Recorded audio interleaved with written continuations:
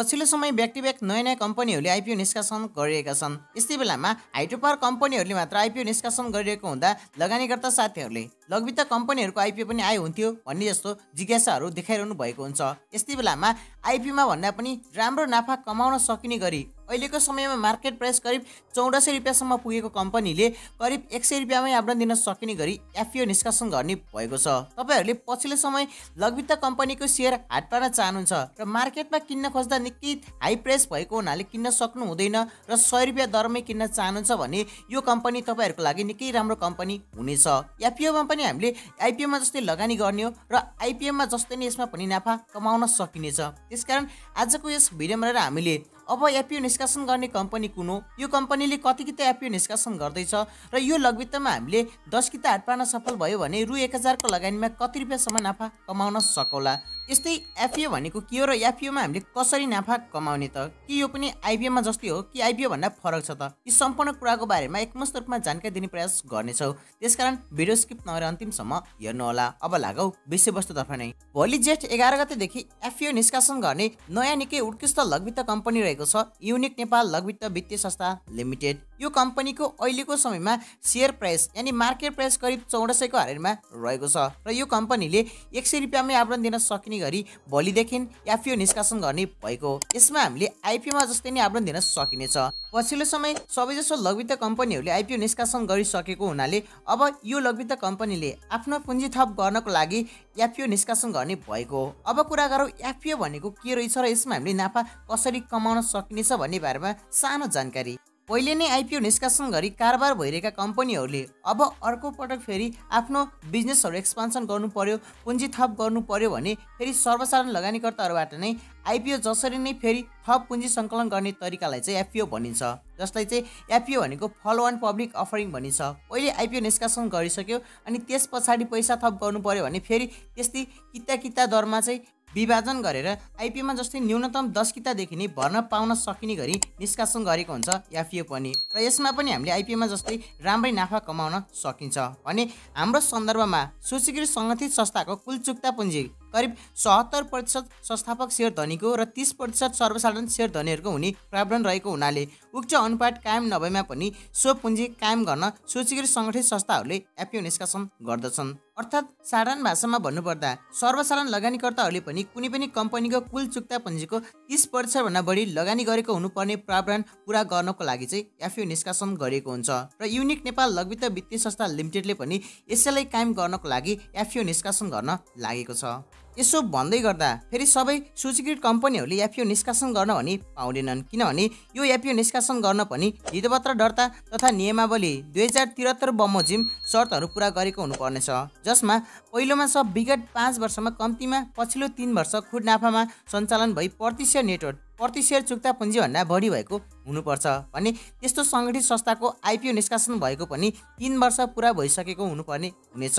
र एफपिओ निष्कासन गर्ने सन्दर्भमा वार्षिक साधारण सभाबाट प्रस्ताव पारित भएको र अङ्कित मूल्यभन्दा बढी मूल्य तोकी निष्कासन गर्ने भएमा मूल्य निर्धारण गरिएको विधि र सो औचित्य पुष्टि गर्ने आधार समेत उल्लेख भएको हुनुपर्ने हुन्छ। नियमावलीमा भएको पछिल्लो संशोधनले सूचीकृत सङ्गठित संस्थाले प्रिमियममा एपिओ निष्कासन गर्न आवश्यक परेमा त्यस्तो संस्थाको पछिल्लो लेखा परीक्षण भएको वित्तीय विवरण अनुसारको प्रतिशत नेटवर्कभन्दा बढी नहुने गरी प्रिमियम सहितको निष्कासन मूल्य निर्धारण गर्नुपर्ने प्रावधान समेत थप गरिएको छ। यसरी निश्चित क्राइटेरियाहरू म्याच गर्न सकेको कम्पनीले मात्र एफिओ निष्कासन गर्न पाउने हुन्छ। अर्थात् हामीले कुनै पनि कम्पनीको एफिओमा लगानी गऱ्यो भने त्यसमा हामीलाई लस हुने सम्भावना निकै कम नै हुने गर्दछ। आइपिओमा जस्तै हामीले एफिओमा पनि राम्रै नाफाको आश गर्न सक्छौँ। यो भयो एफिओ भनेको के हो र एफिओमा हामीले कसरी नाफा कमाउन सकिन्छ भन्ने बारेमा सामान्य जानकारी। अब कुरा गरौँ भोलि जेठ एक्काइस गतेदेखि एफिओ निष्कासन गर्ने निकै उत्कृष्ट लघुवित्त कम्पनी युनिक नेपाल लघुवित्त वित्तीय संस्था लिमिटेडले कति किता एफिओ निष्कासन गर्दैछ। हामीले कति भर्ने पर्ने चान्स कति छ भन्ने बारेमा सम्पूर्ण जानकारी भिडियो स्किप नगरेर अन्तिमसम्म हेर्दै गर्नुहोला। युनिक नेपाल लघुवित्त वित्तीय संस्था लिमिटेडले करिब तिन करोड उनासी लाख बयालिस हजार पाँच सय रुपियाँ बराबरको प्रति सेयर एक सय रुपियाँ अङ्कित मूल्यका दरले तिन लाख उनासी हजार चार सय पच्चिस किता साधारण सेयर यानि कि एफपिओ निष्कासन गर्न लागेको छ। भने साबिकको युनिक नेपाल लघुवित्त वित्तीय संस्था र घोडाघोडी लघुवित्त वित्तीय संस्था मर्ज भई बनेको यस लघुवित्तमा संस्थापक सेयर धनीहरूको करिब चौरानब्बे पोइन्ट जिरो एक प्रतिशत र सर्वसाधारण सेयर धनीहरूतर्फ करिब चार पोइन्ट नौ नौ प्रतिशत हिस्सा मात्र रहेको छ। यस्तो भएको हुनाले बैङ्क तथा वित्तीय संस्था सम्बन्धी ऐन दुई हजार त्रिहत्तर र नेपाल राष्ट्र बैङ्कले एक आपसमा गाभ्ने गाभिनका लागि अन्तिम स्वीकृत पत्रमा प्रदान गर्दा दिएको निर्देशन बमोजिम सो सेयर निष्कासन गर्न लागेको। यसरी यो कम्पनीले पनि सर्वसाधारण लगानीकर्ताहरूको करिब तिस प्रतिशतभन्दा बढीको रेसियो मेन्टेन गर्नको लागि एफिओ निष्कासन गर्न लागेको छ। यसरी हेर्दा युनिक नेपाल लघुवित्त वित्तीय संस्था लिमिटेडले निष्कासन गर्ने एफपिओमा पनि धेरै लगानीकर्ताहरूले आवरण दिने सम्भावना म्याक्सिमम रहेको छ। अझ भनौँ मागभन्दा अत्याधिक मात्रामा बढी आवरण पर्ने सम्भावना रहेको छ। त्यसकारण यो कम्पनीको एफपिओ पनि न्यूनतम दस किताको दरले नै बाँडफाँड हुनेछ। यसरी बाँडफाँड गर्दा करिब सैँतिस हजार नौ सय बयालिसजना लगानीकर्ताहरूले मात्र दस दस किताको दरले यो लघुवित्त कम्पनीको एफपिओ हाट पार्न सफल हुनुहुनेछ भने दस किता हाट पार्ने लगानीकर्ताहरू बिचबाटै बिस वा बिस किताभन्दा बढीको लागि आवरण दिनुभएको पाँचजना भाग्यमानी लगानीकर्ताहरूले थप एक एक किता गरी एघार किताको दरले यो कम्पनीको सेयर हाट पार्न सफल हुनुहुनेछ। त्यसकारण तपाईँहरूले यो कम्पनीमा आवरण दिन चाहनुहुन्छ लघुवित्त कम्पनीको आइपिओ भर्न नपाए पनि एफपिओ भरेर पैसा कमाउन चाहनुहुन्छ राम्रो अनलाइन गर्न चाहनुहुन्छ भने न्यूनतम दस कितादेखि अधिकतममा बिस कितासम्मको लागि आवेदन दिन सक्नुहुनेछ। यदि तपाईँहरू दस किताको लागि मात्र कम्पिटिसन गर्न चाहनुहुन्छ भने दसैँ किताको लागि आवेदन दिनुहोला र एघार कितासम्म कम्पिटिसन गर्न चाहनुहुन्छ भने बिस किता आवेदन दिन सक्नुहुनेछ। सकेसम्म तपाईँहरू सबैजनाले यो कम्पनीमा बिस किताकै लागि आवेदन दिन सक्नुहुनेछ। यद्यपि कम्पनीको एपिओमा लगानीकर्ताहरूले न्यूनतम दस किता सेयर खरिदको लागि आवेदन दिनुपर्नेछ भने अधिकतममा एक सय कितासम्मको लागि आवेदन दिन सक्ने व्यवस्था गर्दै निष्कासन गर्न लागि छ भने युनिक नेपाल लघुवित्त वित्तीय संस्था लिमिटेडले सर्वसाधारण लगानीकर्ताहरूले नै आवेदन दिन सकिने गरी भोलि जेठ एघार गतेदेखि एफपिओ निष्कासन गर्ने भएको र लगानीकर्ताहरूले यस कम्पनीको आइपिओमा जेठ सोह्र गतेसम्म आवेदन दिन सक्ने व्यवस्था गरेको छ। यदि सो अवधिमा सम्पूर्ण सेयर खरिदको लागि आवेदन परेन भने आवेदन दिने म्याद जेठ पच्चिस गतेसम्म लम्ब्याउन सकिने कम्पनीले जनाएको छ। तर यो लघुवित्त कम्पनी भएको पछिल्लो समय लघुवित्त कम्पनीहरूको आइपिओ नआइरहेको हुनाले यो कम्पनीमा पहिलो दिनमै मागभन्दा निकै धेरै आवेदन पर्ने सम्भावना म्याक्सिमम देखिन्छ। त्यसकारण तपाईँहरूले पनि यो कम्पनीको एपिओमा मजाले आवेदन दिन सक्नुहुनेछ। वेट वेट एपिओमा भने आइपिओमा जस्तै वैदेशिक लगानीकर्ताहरूको लागि दस प्रतिशत आरक्षण कोटा भनेर छुट्याएको हुँदैन। त्यसकारण यो कम्पनीले पनि वैदेशिकको लागि छुट्याएको छैन। त्यसकारण तपाईँहरूले सर्वसाधारणमा नै निष्कासन भएको बेला सार्वजनिक आवेदन दिन सक्नुहुनेछ। युनिक नेपाल लघुवित्त वित्तीय संस्था लिमिटेडको सेयर निष्कासन तथा बिक्री प्रबन्धकमा मुक्टिनेट क्यापिटल लिमिटेड रहेको छ र लगानीकर्ताहरूले मेरो सेयर मार्फत नै आइपिओमा भरे जस्तै मेरो सेयरको मोबाइल एप्लिकेसन र वेबसाइटबाट मजाले आवेदन दिन सकिनेछ भने एफिओ निष्कासन गर्नको लागि गराएको रेटिङमा के रेटिङ नेपालले कम्पनीलाई केरेनपी single B plus issuer rating प्रदान गरेको छ। यसले कम्पनीको वित्तीय दायित्व वहन गर्ने क्षमतामा भने उच्च जोखिम रहेको सङ्केत गर्दछ। हाल यस लघुवित्तको चुक्ता पुँजी करिब एघार करोड छ लाख बत्तिस हजार पाँच सय रुपियाँ रहेको छ भने एफपिओ बाँडफाट पश्चात यस लघुवित्तको चुक्ता पुँजी करिब चौध करोड पचासी लाख पचहत्तर हजार रुपियाँ पुग्नेछ। जस्तोमा संस्थापक सेयर धनीहरूतर्फ करिब चौहत्तर प्रतिशत स्वामित्व हुनेछ भने सर्वसाधारण सेयर धनीहरूतर्फ तिस प्रतिशतको स्वामित्व रहनेछ।